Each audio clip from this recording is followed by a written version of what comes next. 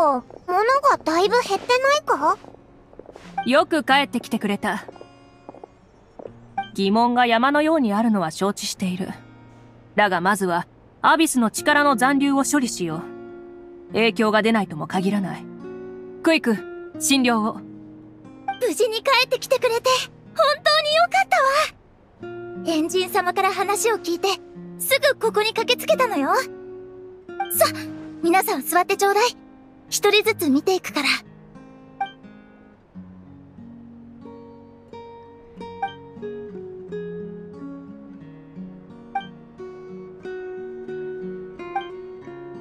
しこれでもう大丈夫なはずよ。でも、念のため、数日したらもう一度検査を受けてね。ただ、こちらの旅人さんみたいなのは、私も聞いたことがないわ。まるで、アビスの力に完全な抗体を持ってるみたい。こいつって、昔からちょっと特別なんだ。アビスの力を浄化するのも得意なんだぜ。あれ？そういえば、オイラもアビスの影響を受けてないな。今の状況では、その能力は大いに役立つ。じゃあ、私はこれで失礼します。他の患者さんが待っていますので。ありがとう、クイック。いいわよ。考え方に違いはあるけど、お互い悪気はないんだもの。今は時間に任せましょう。いつかきっと、分かり合えるわ。あ。ふん。話題は多岐にわたるが、どれから始めるべきか。そうだ。君たちも見たな。八神の国のあの惨状を。率直に言おう。ナタの滅びが目前に迫っている。余命は、一年にも満たない。はあ？え、う、嘘ですよね？これは事実だ。このことを知るのは、旧国の計画に参加する一部の者だけとなっている。先ほど言った余命。つまり、滅びへのカウントダウンが始まったのは最近ではない。500年前のアビスの災いから続くものだ。それなら、ムアラニからも聞いたけど。ああ。当時、すべての国がアビスの侵攻を受けていた。ナタは元来、他国が持つような安定した堅固な地脈を有していない。故に、状況は最も深刻でな。あれは長く、あまりに凄惨な戦いだった。命と文明を犠牲にし、ナタはようやく勝利をつかんだのだ。我々はその後、さらに数百年もの時間をかけて、アビスがもたらす最悪を払った。今日の平和は、そうして築かれたのだ。しかし、その勝利は表面上のものに過ぎない。アビスの力は今も消えておらず、ただ地下へと追いやっただけだ。そ、そうだったんだ。八神の国の問題はさらに一筋縄ではいかない。なぜなら、あそこはまさにナタの地脈のような存在だからだ。当時の計算で、八神の国が完全にアビス化するまで、最大で500年かかると導き出された。しかし、その頃にはすでに多くのナタ人が家と家族を失い、荒野をさまよっていたのだ。彼らは勝利を信じることを放棄し、未来に目を向けることもやめてしまっていた。文明は消えかけ、信仰は崩れ去り、大霊の力も枯渇寸前にまで追い詰められた。このままでは、ナタを再び一つにしない限り、アビスを倒すことなど、夢のまた夢。そこで、神と各部族の英雄たちは、長い議論の末、ナタを救うための500年にわたる大規模な計画を立てたのだ。そうだったんですね。カチーナちゃんと合流できた後、私は、自分のものではない記憶を、見たことのない存在から受け取りました。その中にまさに、今おっしゃった計画がありました。どうやら私は、その計画の重要な一人に選ばれたということですね。でも、一つだけ理解のできないことがあります。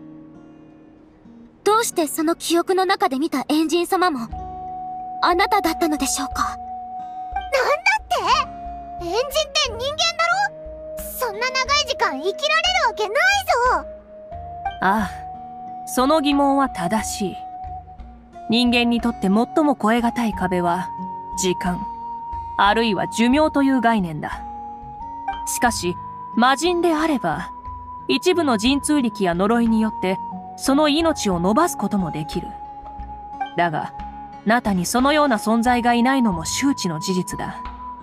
故に我々は、己の知恵を持って切り抜けるほかなかった。生命とは、いつか燃え尽きる炎のようなものだ。500年前、私はこの命を聖火に託した。過去に一度死を迎えたがゆえに、再び蘇ることができる。つまり簡単に言うと、二度目の命ということでしょうか？ああ。当時、各部族が団結していたからこそ、アビスを退けることができたのだ。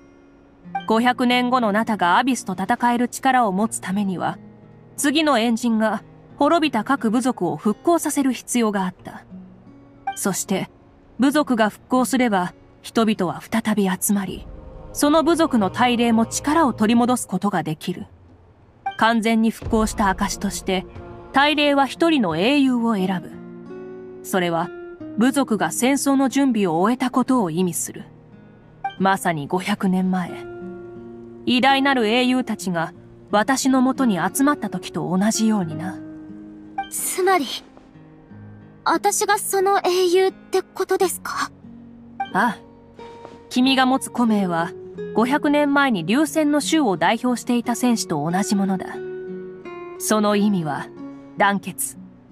八神の国での冒険を経たことで、君はきっとこの古名の意味を完全に理解したことだろう。ってことは、お前は最初から、大霊が誰を選ぶのか知ってたのか？そうだ。当初の計画であれば、私が蘇った頃には、すべての部族が復興を遂げているはずだった。しかし、思わぬ事態が起きた。6人の英雄は、確かに500年前の6つの古名を手にしていたが、計画に関する情報を誰も受け継いでいなかったのだよ。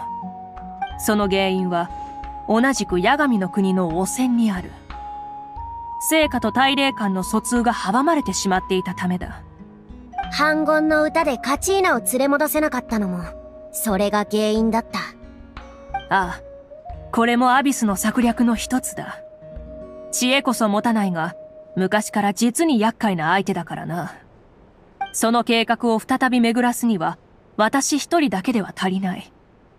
古名の所有者も、その古名と同じ覚悟を示さなければならないのだ。そう悟った時から、私はその6人を支援しようと決めた。現在、小玉の子の白年、かがり木の民のキーニチ、それから、北条の国の慰安さが認められている。そして、こたびの剣を経て、ムアラに、君も無事大礼に認められ、古名に刻まれた古の英雄の記憶を手に入れた。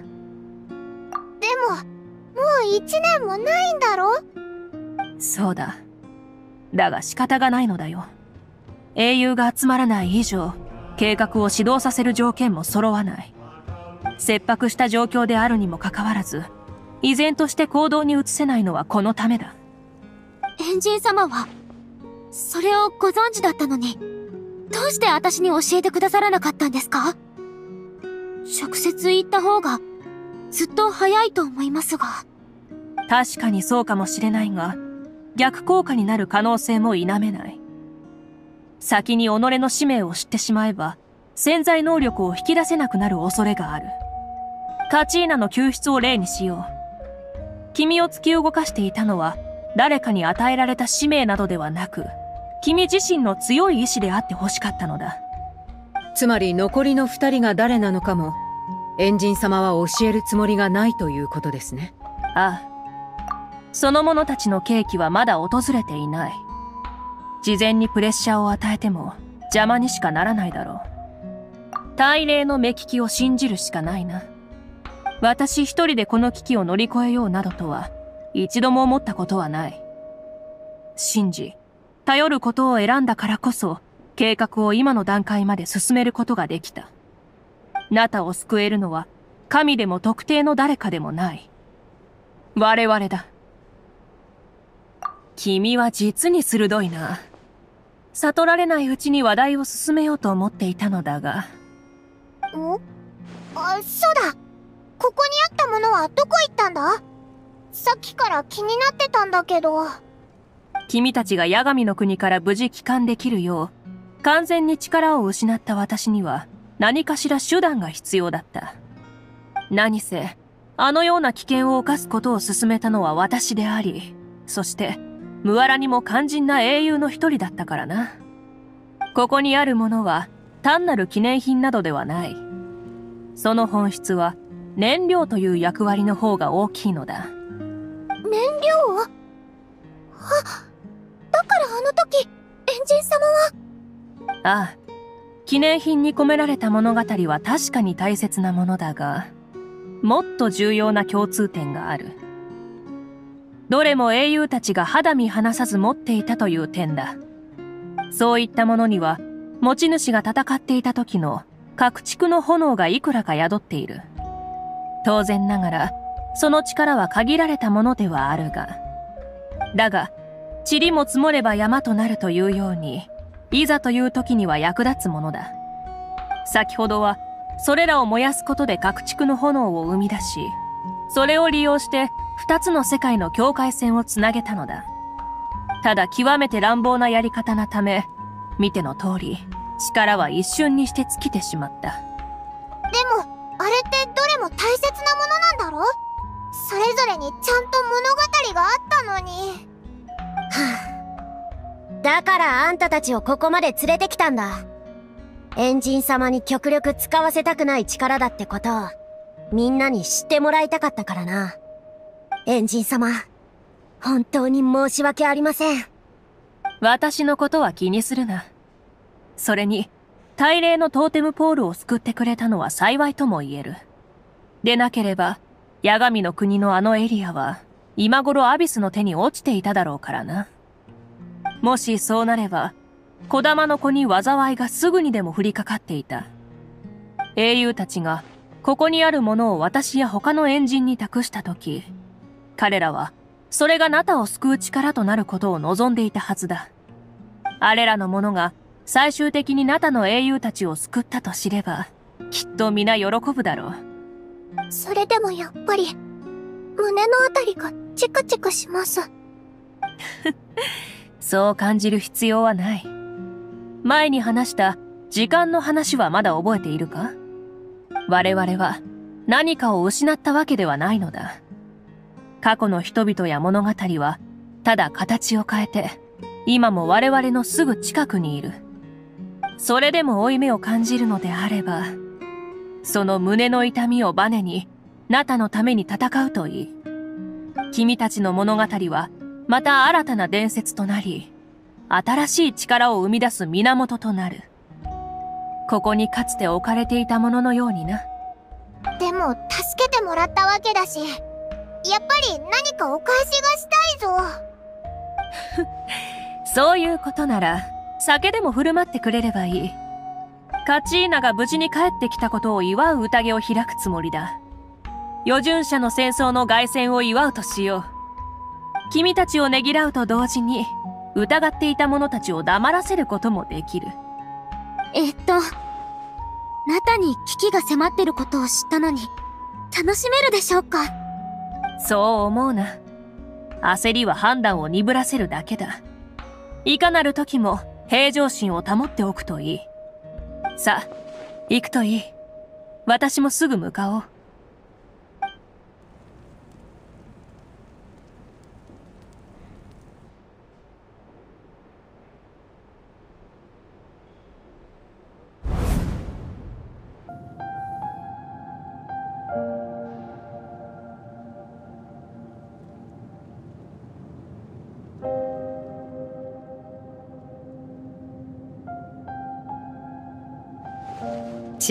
さい頃から温泉の近くに座って戦士たちの物語を聞くのが好きだった。湯の中を人が行ったり来たりして部族に関係なくみんなが友人だった。温泉は決して流泉の衆だけのものじゃない。戦友たちをつなぐ絆なの。部族の子供たちがどんどん成長していく姿を見れて本当に嬉しい。私も温泉の本当の意味を少しずつ理解できるようになったわ。青春や活力情熱にあふれている。なんて元気でなんて憧れる存在。たとえその子たちが問題を起こしても心の中の怒りは一瞬にして慈愛と寛容へと変わるわ。本当に不思議。ムアラニが大きくなったらきっと立派な戦士になるでしょうね。あの子には無限の可能性が秘められてる。私にはわかるわ。いつか私の力が衰えて戦場に出られなくなったらここに戻ってきてあの子にそしてもっともっと幼い子に物語を聞かせてあげたい。あんたもしっかり演じをやってね。だってそっちの方が語れる物語も増えるでしょ。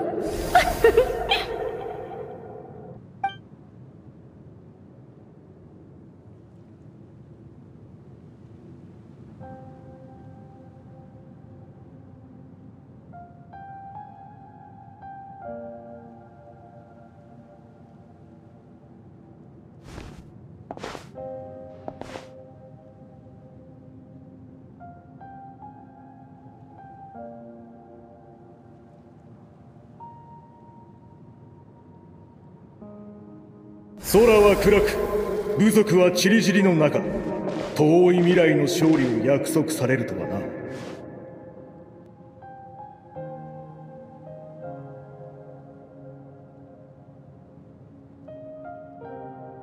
あの狡猾な敵たちと幾度も刃を交えていなければとてもじゃないが君の用心深さを理解できなかったろう我が怒りは静まることなく我が力はもう君のために振るわれない。それでも君は俺に会いに来た。きっとたった一言で俺を説得できると知っているからだろう。分かった。今の英雄が血と炎で道を切り開く。だから俺の分まで勝ち取れ。でなければ昔の借りを含めてまとめて返してもらうぞ。ナタのために。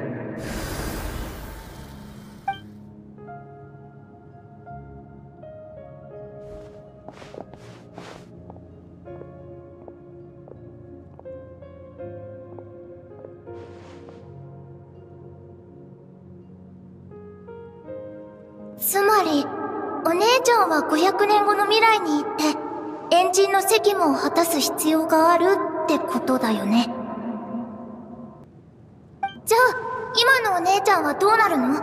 お姉ちゃんの人生はこれでおしまいってこと？それを聞いても答えられないでしょ？もう決まったことなら私たちは全力で支えてあげないと。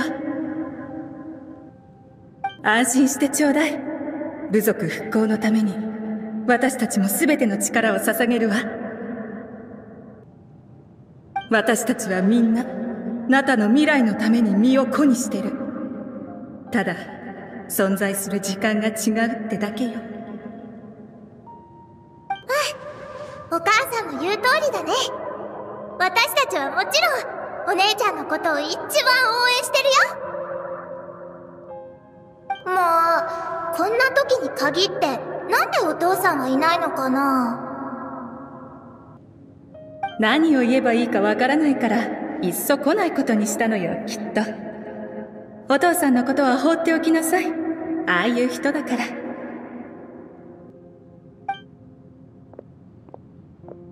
未来がどうなっても私たちがあなたを愛していることを忘れないでちょうだいね。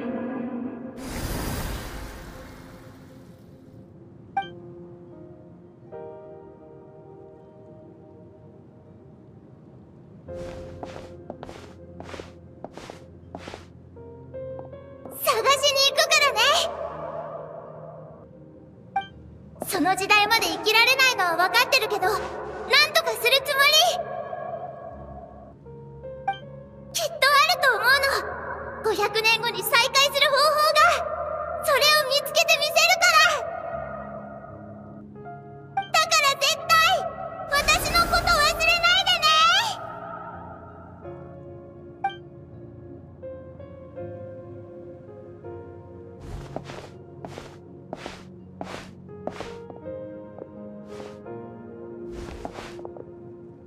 エンジン様がそうおっしゃるのなら全身全霊をもって支援いたし子ましょう。供たちもこのような美しい太陽が見られますように。あなたのために。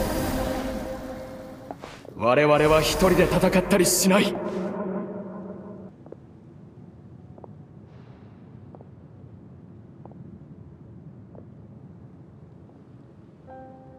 ルールは我が遺産であり次の最悪に対抗するための力でもある。戦争は六大部族を鍛え上げ戦の真髄と愛し方を教えてくれたわ。この全てを終わらせるのは果たして誰なのだろうか